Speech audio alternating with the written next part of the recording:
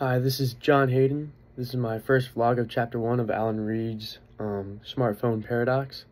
I believe this chapter is very well written and it is a good first chapter for the book and I'm very interested to see what the rest of the book is all about.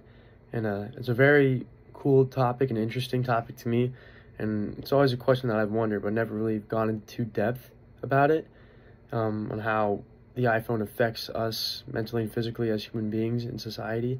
Uh, I mean, I've thought about it occasionally here and there, but not as much as depth as this class is taking me. And uh, the summary that I took from this chapter was um, it discusses the positive and negative effects of using our smartphones. And I think this this summary is what I took out of this well-detailed um, chapter.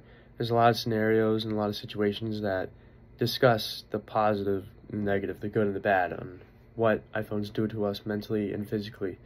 And um, one thing that Alan Reed says in the smartphone paradox is that it is the iPhone is liberating yet controlling, unifying yet polarizing. And that goes the same with positive and negative effects. I mean, we get we feel we make ourselves feel good by looking at our phones or by texting someone or by using an app. Uh, games or it could be social media, it could be anything. There's also, it can be controlling and polarizing because sometimes maybe that's all we think about. Maybe that's what we surround our day by as of social media or games or apps or anything that could be controlling to us throughout the day. Um, and one thing that um, Alan Reed says, is that it is undeniable that the smartphone has had indelible effects on the ways we act, think, and feel. That goes the same with um, thinking about social media, thinking about apps, games, whatever that can be distracting us from just regular um, daily activities like sitting in class. I'm sitting in class and I'm trying to pay attention to teacher and I start dozing off about a video game I downloaded on my phone or if I should text my buddy to see buddy to see how he's doing after class because I haven't talked to him in a while. And that easy access to have entertainment of communication and games slash entertainment that can distract us, and uh, I think that it can affect the ways we act and can feel, and there's also mm, in conversation that can affect us too. Um, one thing that Alan Reed phrases Judson Brewer from the Cruising Mind or the Craving Mind by uh, by quoting trigger behavior reward, and um, he what he what he what I took from that the trigger behavior reward is I related that to a conversation. In a conversation, feels you know we're talking face to face. If I'm talking to you, you're talking to me, and let's say uh, you get a notification on your phone and you feel it or you hear the notification, that's your trigger to react your behavior to pull out your phone and see that. These notifications of your phone buzzing or your um, the sound going off of iMessage or something like that triggers you to pull out your phone, and then your reward is seeing if what kind of notification it is.